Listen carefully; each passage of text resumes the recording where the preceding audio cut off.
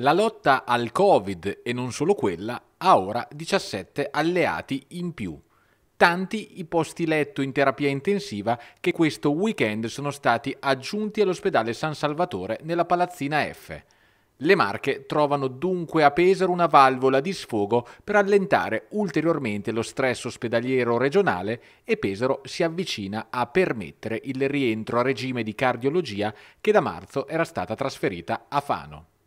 Marche Nord è il primo ospedale a recepire il decreto Arcuri che incrementa ora a 237 i posti di terapia intensiva a disposizione del Servizio Sanitario Regionale. Oltre a migliorare l'assistenza ai pazienti, ora si può anche diminuire il parametro con cui si calcola l'indice RT per la classificazione delle regioni nelle zone gialla, arancione o rossa. A tal proposito, l'ultima settimana ha registrato un positivo calo dell'8% dei ricoveri.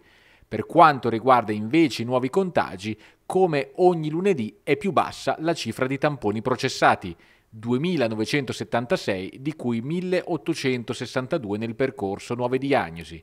I positivi riscontrati sono 200, di cui appena 28 nella provincia di Pesaro Urbino.